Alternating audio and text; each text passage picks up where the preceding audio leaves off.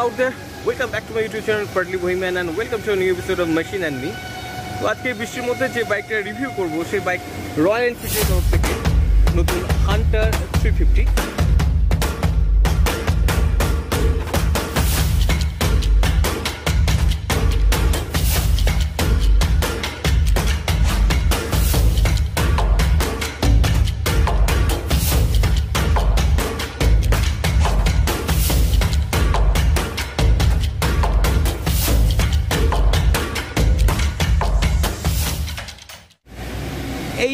বাইকটার দুটো ভার্সন আছে।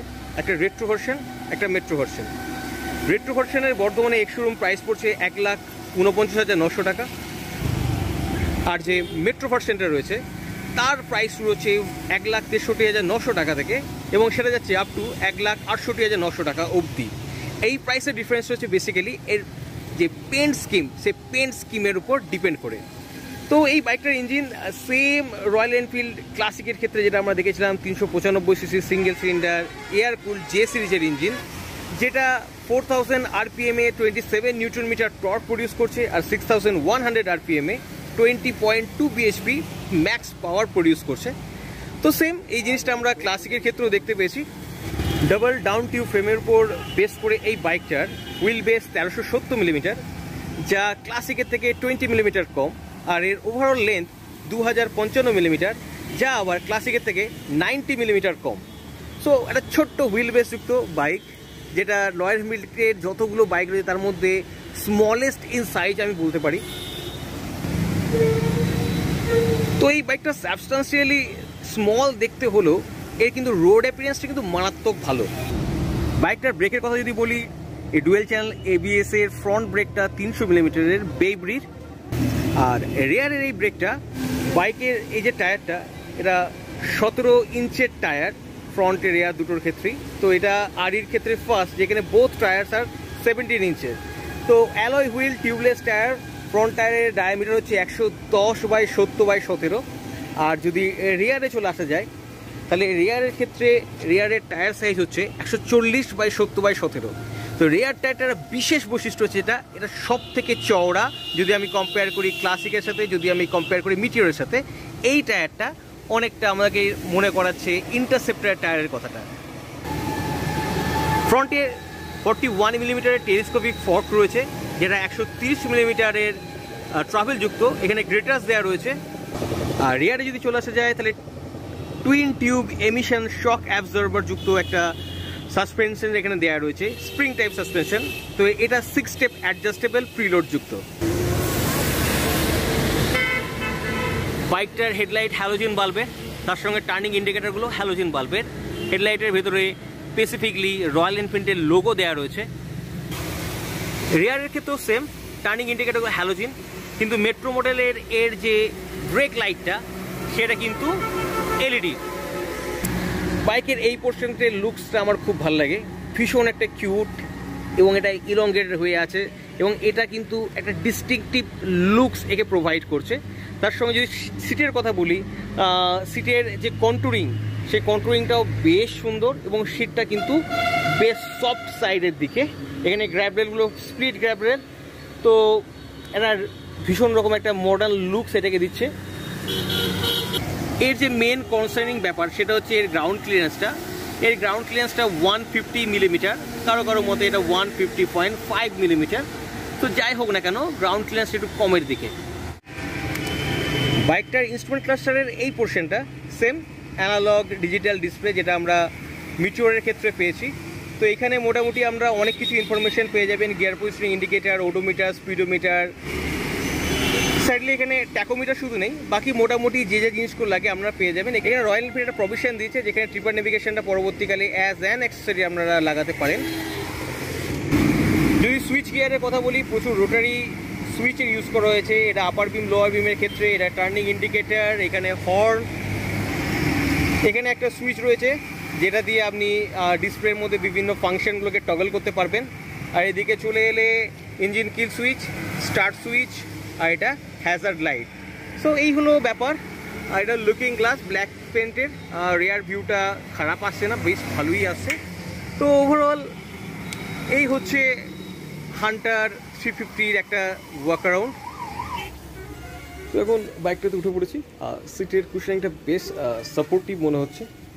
আর এর যে হ্যান্ডেল বার এই হ্যান্ডেল বারটা কিন্তু বেশই ওয়াইড আর আপনার যেখানে বসতে হচ্ছে, সেখান থেকে এই হ্যান্ডেল বার অবধি পৌঁছাতে গেলে একটুখানি রিচ করতে হচ্ছে। সামান্য একটু ঝুঁকতে হচ্ছে, তবে এতটাও নয় মানে খুব একটা স্পোর্টি নয় মোটি so that's a good thing বেশ একটা কমান্ডিং পস্টার তার সঙ্গে ফুড পেকটা একটু রেয়ারের দিকে সেট করা। ইন্টিরমিটিং নয়, তবে এর যে রাইডিং স্টাইলটা সেটা হচ্ছে বেশ এনগেজিং একটা স্টাইল প্লাস বাইকটার সিট হাইটটাও বেশ কম। আমার হাইট পাঁচ ফুট সাত। আর আমার পা দুটো কিন্তু ভালোভাবেই নিচে অবধি পৌঁছাচ্ছে। বাইকটার সিট হাইট আটশো মিলিমিটারের মতো। সো আমার মতো যারা শর্টার সাইডের রাইডার তাদের ক্ষেত্রে বাইকটা চালাতে খুব একটা অসুবিধা হবে বলে মনে হয় না আমার। কিন্তু এই বাইকটার একটা মস্ত বড় প্রবলেম যেটা আমার মনে হচ্ছে, সেটা হচ্ছে এই ফুড প্যাকের পজিশনটা মানে আপনি যখন সিটি ট্রাফিকের ভেতরে চালাবেন, তখন এটা বারবার কিন্তু আপনার পায়ের সাথে ফাউল করবে। মানে যেটা অনেকটা কন্টিনেন্টাল জিটির ক্ষেত্রে পাওয়া যায়। তো সেই টাইপের আর কি ব্যাপার? এবার সবসময় তো পাটাকে দূরে রেখে বাইকটা চালানো সম্ভব নয়, তাহলে আপনি যখন এই বাইকটা যদি কেনেন, তাহলে কিন্তু আপনাকে একটা জিনিস বুঝে নিতে হবে। এটা বেশ ইরিটেট কিন্তু আপনাকে করবে যখন আপনি বাইকটা সিটি ট্রাফিকের ভিতরে স্ক্রল করে চালাবেন। তো কাগজে কথা অনেক হলো। এবার বাইকটা চালিয়ে দেখা যাক অ্যাকচুয়াল রোড কন্ডিশন এটা কেমন ফিল করে। লেটস গো ওকে এর সাউন্ডটা মারাত্মক। ওকে ফার্স্ট গিয়ারে চল্লিশ সেকেন্ড গিয়ারে নিয়ারলি এইটটি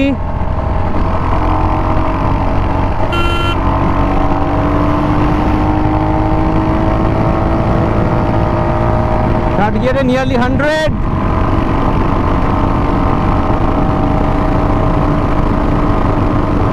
ওকে তো এই হলো ট্রাফিকের অবস্থা। সো আমি যেখানে থাকি, তার আশেপাশে ওপেন রাস্তা পাওয়া একটু চাপের। সুতরাং টপ স্পিড টেস্ট করাটা পিট চ্যালেঞ্জিং তাও থার্ড গিয়ারে যদি হান্ড্রেড কাছে টাচ করে যায়, এর যা গিয়ার রেশিও এর যে ইঞ্জিনের যেটা output four thousand nearly four thousand আরপিএমে যে আপনার twenty seven newton metre torque peak যেটা এটা পেয়ে যাচ্ছে। তো সেই রেসপেক্টে বলা যায় বাটারমেন্ট পাঁচটা মারাত্মক ভালো মারাত্মক ভালো, কিন্তু টপ এন্ডে গিয়ে সামহাউ ইটস ফিল ফ্ল্যাট এটা আপনাকে ফিল হবে। আদারওয়াইজ এই বাইকটা থেকে আপনি থার্ড গিয়ারে যদি একশো উঠতে পারে, তাহলে ফিফথ গিয়ারে ডেফিনেটলি আপনি একশো কুড়ি পর্যন্ত আরামসে তুলে যেতে পারেন। এটা ডেফিনেটলি বলা যায়। আর ভাইব্রেশনটা তুলনামূলক অনেকটা কম, যেটা আমরা আরই ক্লাসিকের ক্ষেত্রেও দেখেছিলাম। ক্লাসিক রিবর্নের ক্ষেত্রে ভাইব্রেশনটা অনেক কম। কিন্তু একটু ভাইব্রেশন আপনি পাবেন।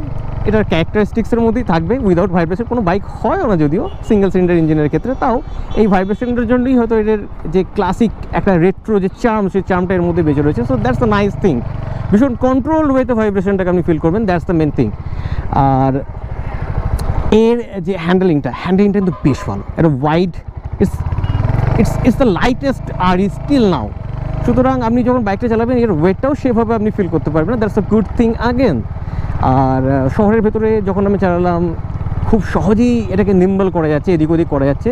So that's another good thing আর যেটা ভালো হচ্ছে, এর হাই গিয়ার রেশিওতে লো স্পিড মেনটেন করে চলার একটা প্রবণতা মানে আপনি ফিফথ গিয়ার আছেন থার্টি পর্যন্ত গাড়িটা কোনো রকম স্ট্রল করবে না থার্টি নিচে গেলে গাড়িটা স্ট্রলিং শুরু হবে।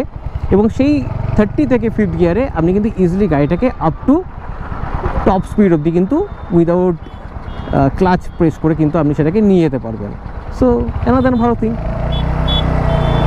এরপর ব্রেকের কথা যদি বলা হয় combi braking system both brakes are work in a proper and nice way ব্রেকের বাইট যথেষ্ট ভালো।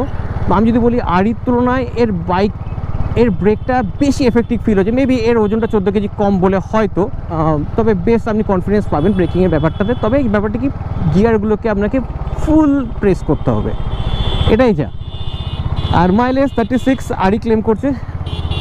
আমরা ক্লাসিকের ক্ষেত্রে দেখেছিলাম মাইলেজটা অ্যারাউন্ড থার্টি সিক্সই পাওয়া যায়। তো সেম ইঞ্জিন ওয়েটটা চোদ্দ কেজি কম। সেক্ষেত্রে মাইলেজটা থার্টি সিক্স অ্যারাউন্ডই পাওয়া যাবে, ধরে নেওয়াই যায়। তো overall fit and finish it's okay প্লাস্টিকের প্রচুর ইউজ হয়েছে বাট তার জন্য ওয়েটটাও হালকা হয়েছে ওয়েট হালকা হওয়ার জন্য এটা চালাতেও বেশ মজা লাগছে। ভীষণ নিম্বল একটা ভীষণ একটা এর ওয়েট ডিস্ট্রিবিউশনটা ভীষণ ভালো। So good thing good thing আর যেহেতু লো হাইট আপনি পাগুলোকে সুন্দরভাবে রাখতে পারবেন। It's give you the enough confidence শহরের ভেতর চালাতে গেলে একশো একশো কেজি ব্যাগটার ওজন কিন্তু সেভাবে কিছু ফিল হচ্ছে না। সো প্রচুর প্রচুর পজিটিভ নোটস এই বাইকটাতে রয়েছে এবং প্রচুর পজিটিভ ভাইবসও আরই এই বাইকটার মধ্যে দিয়েছে। যদি সাসপেনশনের কথা বলা হয় সাসপেনশনের সামনে গিয়ে সেই পুরনো মাঠে আমরা চেক করব। কিন্তু যেটা আমার মেন কনসার্নের জায়গা, সেটা হচ্ছে এর গ্রাউন্ড ক্লিয়ারেন্সটা ইটস ওয়ান ফিফটি কেউ কেউ বলছে ওয়ান ফিফটি পয়েন্ট ফাইভ যেটাই হোক না কেন। এই গ্রাউন্ড ক্লিয়ারেন্সটা আমাদের ইন্ডিয়ান রোডের জন্য ইজন্ট গুড হয়তো মেট্রোতে বা হাইওয়ের জন্য ইটস ওকে বাট যখনই আপনি কোনো শার্প বাম্পের ওপর দিয়ে যাবেন এবং পিছনে যদি কোনো পিলিয়ান থাকে দেন তলাটা কিন্তু ধাক্কা লাগতে পারে। এবং ধাক্কা লাগবে, আশা করি কারণ আমাদের এখানকার বাম্পের যে সাইজ ওয়াই গার্ড সেটা তো আপনার প্রত্যেকেই ওয়াকিবহল সে সম্পর্কে। সো এই একটা জিনিস এই বাইকটা কেনার সময় আমাকে খেয়াল রাখতে হবে, এক, এর গ্রাউন্ড ক্লিয়ারেন্সটা সেকেন্ড হচ্ছে এর ফুটপেকের এই যে ফাউল হওয়ার যে টেন্ডেন্সিটা আদারওয়াইজ অ্যাজ সাচ বাইকটাতে কিন্তু কোনো কমপ্লেন নেই। সেম থিং সেম মানে আপনি আড়ি চালালে বা আপনি যদি ক্লাসিক রিবন চালান, তাহলে সেম জিনিস আপনি এখানে পাবেন সেম ফিল সেম চার্ম পাবেন but in that different look এটাই যা। এখনও পর্যন্ত বাইকটা যেটা চালালাম এবং যেটা বুঝতে পারছি, এর suspension on stiffer side which is good good কিসের জন্য? না হাইওয়ে রাইডিংয়ের জন্য বা আবার সিটির মধ্যে চালানোর জন্য। বাট একটু আনসার্টেন রোড কন্ডিশনে এটা আপনাকে কতটা কমফোর্ট দেবে সেটা টেস্ট করার জন্য চলে এসেছি সেই মাঠটাতে, যেখানে গিয়ে এই বাইকটার রীতিমতো সাসপেনশনটা টেস্ট হবে ওকে ওকে মানে শুরুতেই বুঝতে পারছি তলার রাস্তাটা খারাপ। স্টিভার সাসপেনশন হওয়ার জন্য যেটা হচ্ছে আর কি মানে এই ঝটকাগুলো, চাকার তলায় যেগুলো আসছে, এগুলো পোর্শনগুলো I can feel it I can feel that আর এই বাম্পিনেসটা কিন্তু আপনি এই থ্রু আউট এই এই প্যাচটাতে কিন্তু রীতিমতো ফিল করতে পারছেন যেন বাইকটা আমাকে বলছে যে, ভাই, আমি এটার জন্য তৈরি নই। আমাকে শহরের মধ্যে চালাও হাইওয়েতে চালাও। I don't have any problem but please আমাকে এখানে এনো না। তো এরকমই হচ্ছে সাসপেনশনের গল্পটা। মানে তার সঙ্গে আবার একশো পঞ্চাশ মিলিমিটারের যে গ্রাউন্ড ক্লিয়ারেন্স রয়েছে সেটা তো রয়েইছে। তার মানে আপনি এটা একটা স্ট্রিক্ট করে দিয়েছে আরই আপনার জন্য যে, ভাই, তুমি এটাকে নিয়ে অফ রোডিং করতে পারবে না। হ্যাঁ কতটা খারাপ প্যাচ এটা হ্যান্ডেল করবে বাট ততটা ভালোভাবেও কিন্তু সেটা পারছে না করতে। Although this bike is not made for this kind of purposes so okay okay মানে আপনি এই বাইকটা কিনলে কিন্তু এটাকে আপনার মাথায় রাখতে হবে। আপনি কিন্তু এই ধরনের খারাপ পোর্শনগুলোকে ফিল করতে পারবেন আর কি। এরপর এই বাইকটা সম্পর্কে আমার ব্যক্তিগত অভিমত কি, সেটা আপনাদের সঙ্গে শেয়ার করার টাইম চলে এসছে। যতক্ষণ মধ্যে বাইকটা চালালাম, এর অনেক কটা পজিটিভ দিক যেমন পেলাম, এর নেগেটিভ দিকটাও ঠিক খুঁজে খুঁজে বার করেছি। পজিটিভ দিক বলতে কি যে সিরিজের একটা পরীক্ষিত মার্কেটে অলরেডি এস্টাবলিশড এবং ভীষণ রকমভাবে জনপ্রিয় একটা ইঞ্জিন এই বাইকটার মধ্যে রয়েছে।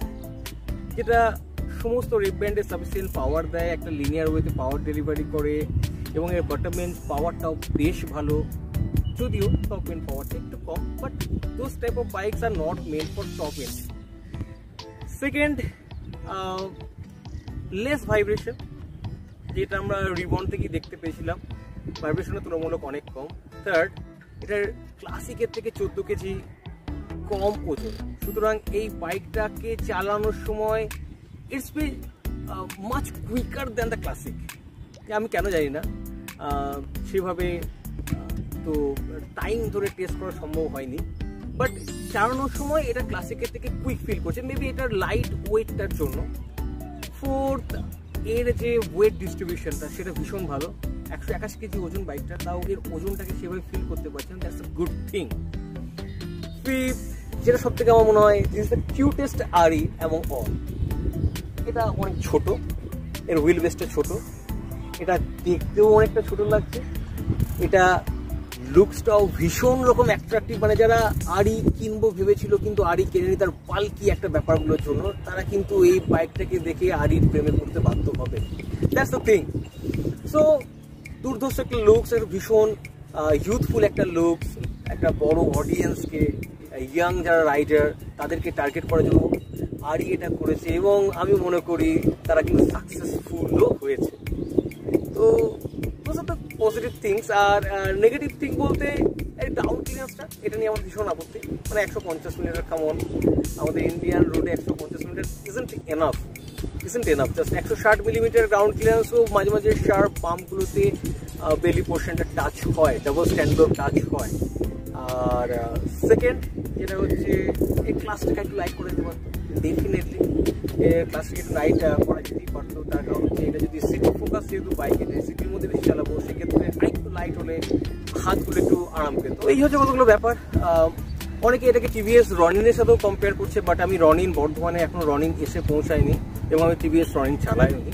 সুতরাং আমি বলতে পারব না কম্পেয়ার করে মানে আমি যেহেতু চালাইনি, আমার পক্ষে বলা সম্ভব নয়, এদের মধ্যে কোনটা বেটার বাট আমি আরই যতগুলো গাড়ি চালিয়েছি এই গাড়িটা কিন্তু সেম একই রকম সুন্দর একটা ফিল দেবে, একটা ক্লাসিক রেট্রো চাম আপনাকে দেবে, কিন্তু ডিফারেন্ট ওয়েতে মানে যদি ভার্ডিক যদি বলা হয় ফাইনালি যদি বলতেই হয় কিছু, তাহলে আমি বলতে পারব, এটা same RE reborn Classic but একটা ডিফারেন্ট স্কিনের আন্ডারে এর ফিল সব এক, এর ইঞ্জিন ক্যারেক্টারিস্টিক্স এক, এবং এর যে লুকসটা সেটা একটা বড় অডিয়েন্সকে টার্গেট করে রয়্যাল এনফিল্ড তৈরি করেছে, এবং আমি মনে করি এটা quite bang on the hit সুতরাং the cheapest the cutest Royal এনফিল্ডের Hunter three fifty আপনি অবশ্যই আপনি একটা বাকেট লিস্টে রাখতে পারেন। যদি আপনার সিটি ইউজটা বেশি প্রায়োরিটি পায় হ্যাসেল ফ্রি রাইডিং যদি আপনার কাছে প্রায়োরিটি পায়, তাহলে অবশ্যই কিন্তু এই বাইকটাকে আপনি আপনার বাকেট লিস্টে রাখতে পারেন। তো আমার মতে কোনো কাছাকাছি কোনো রয়্যাল এনফিল্ডের শোরুমে যান, একটা টেস্ট রাইড নিয়ে দেখুন, এই বাইকটা আপনার জন্য কতটা ভালো এবং এই বাইকটা চালিয়ে আপনি কতটা কমফোর্টেবল ফিল করছেন। So this is all about today's review of RE Hunter three fifty যদি ভিডিওটা আপনাদের ভালো লেগে থাকে, তাহলে অবশ্যই আমার চ্যানেলটাকে শেয়ার করবেন সাবস্ক্রাইব করবেন লাইক করতে ভুলবেন না। আর বাংলাতে এই ধরনের কন্টেন্ট তৈরি করছি সো প্লিজ আমি আপনাদের সাপোর্ট অবশ্যই চাই। খুব তাড়াতাড়ি অন্য কোনো ভিডিও নিয়ে আবার আপনাদের সঙ্গে দেখা হবে। ততক্ষণ পর্যন্ত আপনারা সবাই ভালো থাকুন, সুস্থ থাকুন বাই